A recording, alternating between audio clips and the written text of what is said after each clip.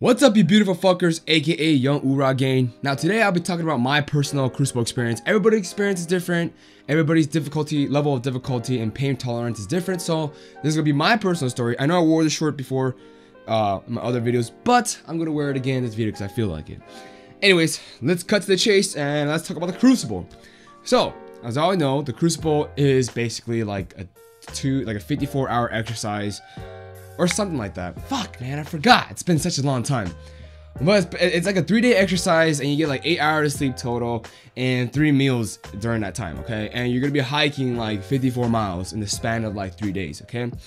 And during those three days, I might split the story up into two, two videos, but let's name this as part one for now, okay? So, so you're gonna go from MCRD San Diego, uh, I, I went to San Diego, so this, this is to be the San Diego experience, okay? I don't know about Parris Island. So, you're from MCRD San Diego, you're to drive down to Pendleton, okay? The recruit site. And then you're to bring all your gear to the Crucible Barracks, okay? And that's the barracks where the Devil Pups used to stay at also. And you're to stay in there, and you're to stay in there and get everything all set up and after you get everything set up, I think it was the next day, eh, you're gonna start your journey to become a United States Marine. So you're gonna get all your gear outside and packed up, and you're gonna hike, right? You're gonna put on that gear, and you're gonna start hiking to the, um, I guess, the Q huts, or whatever place you sleep at for the Crucible during that period of time during the Crucible, okay?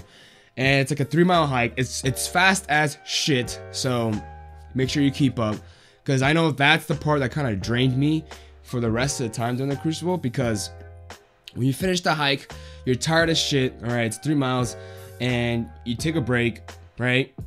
And the next day you're gonna the Crucible, but keep in mind. You only have three MREs on you. The chow is constant. You want to save that chow, right? You're gonna be hungry the next morning but for, for what I did, you know, I just had to push through it. You know, I couldn't, I wanted to save my food and I had small MREs. I had like the freaking Ratatouille one. It, it tastes good, but in my opinion, like, it was shit. Same thing with the pork patty ones. Those are just small MREs that I really just didn't like. And when I grabbed them, you know, the drill instructors just rushing us, so I just hurried up and grabbed them and left. I didn't even take a look at the menu. Uh, so if you're lucky, you know, maybe you can eat some food because there's some MREs that are bigger than other MREs. So I got the small MRE, so I had to make sure I spared, uh, ate those sparingly. So, once the Crucible started, you're going to go to different stations. You're going to hike to different stations, okay?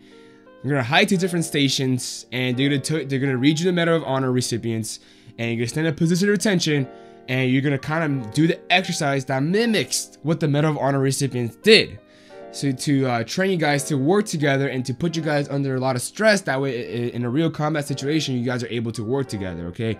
In my opinion like it, it's somewhat effective because the drill instructors all they do is fuck with you and do a bunch of skull drags. So skull drags basically meaning your your kevlar you're like on the lowest to ground as possible. So your kevlar is touching the ground and you're just dragging your skull across the ground with your rifle and all that gear and if they're not if the drill instructors are not satisfied enough, they're gonna tell you to go back and do it again. It, it, seems funny and everything. It is funny in retrospect. It is funny, you know. Thinking back, thinking back at it is funny as hell. But during it, it sucked. It sucked really bad.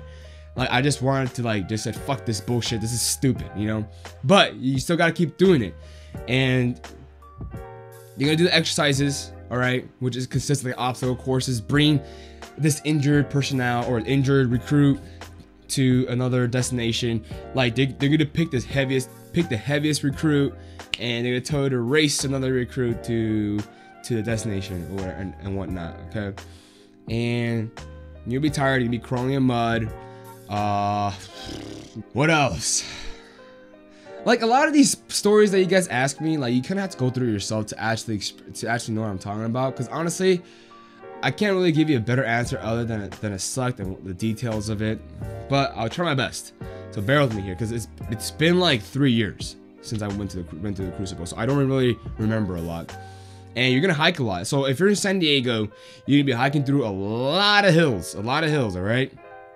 Okay, so you're gonna do a bunch of exercises, right? And keep in mind, you're already tired as shit. You only have three MREs, and during the sleep, like it was hard for me to sleep because my feet were so blistered up. I couldn't sleep. I had to just kept applying moleskin And during the sleeping time, you know, they tell you go on fire watch. I think fire watch is in like 30 minutes, and you're gonna be refilling the waters uh, of the, the water tanks that they have and bringing them back to your place that you're sleeping.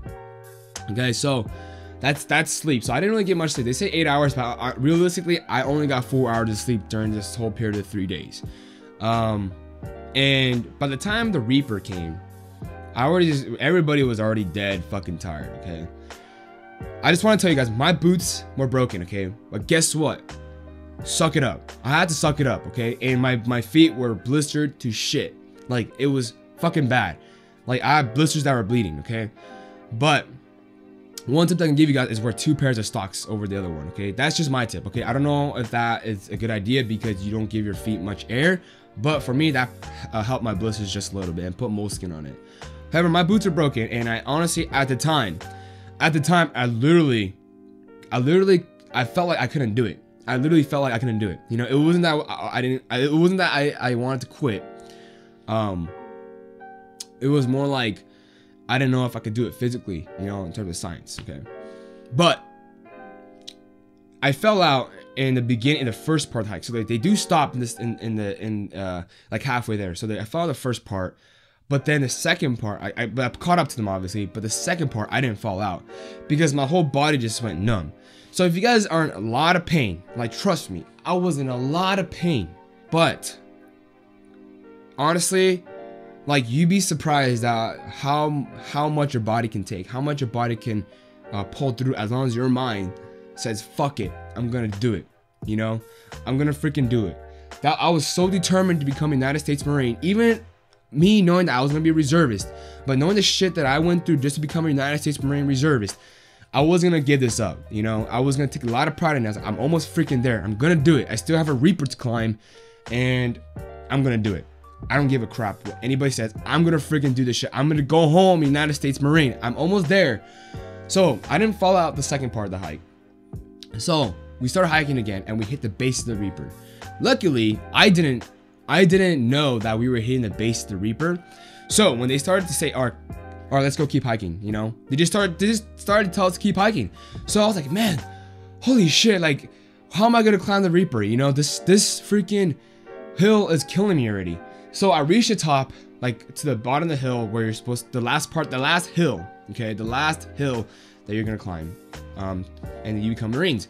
So when I reached that part, I was like, fuck, like we're stopping, but I don't know how, how am I gonna climb the rest of the Reaper, man? I'm tired of shit already, and I didn't, and this fucking hill destroyed me. And I was lucky because I didn't realize that I was already climbing the Reaper. You know, stupid, right? But I was just that fucking dead but I was just doing it, you know? I was doing it and I climbed the freaking Reaper and I reached the base of the hill, okay? And the drill instructors are like, you know, motivating the recruits, come like, you're almost there, you're almost there, go get it, whatever, blah, blah. Hurry the hell up. This is when the drill instructors are actually like really motivating you.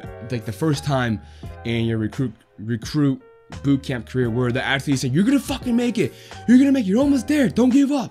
Come on you know, it's it's a really, in my opinion, it's a really emotional and powerful moment. You know, so when they reach the base of uh, Reaper or that last part of the hill, they tell us to war cry, war cry up that hill. Okay, they tell us to war cry up the hill, and I booked it. Like I freaking booked it when I was dead. I booked it and I war cry up that freaking hill. Me and my buddies, we're gonna, we're gonna fucking do this. We're gonna make it. You know, we're about to make it. We're gonna become freaking United States Marines we grabbed each other, or didn't grab each other, but we we motivated each other and we are like, all right, fucking war cry up there. And we war cried our freaking lungs out. And once I stepped on that piece of ground on top of the freaking Reaper, you know, it's early freaking morning, it's sunset, and I'm like, I made it. I freaking made it. It tells the four of our platoons and finally call us United States Marine for the first time in our lives. Okay. And I was it was emotional. It was like I didn't cry, but I don't know, what some people did. But I was for me, I was like, give me that shit. Give me that EGA, man. I'm fucking done. I got my fucking Marine title. I'm done. Give me the fuck out of here. About fucking time. Nah, I wasn't like that. My mind I kinda was thinking like that though.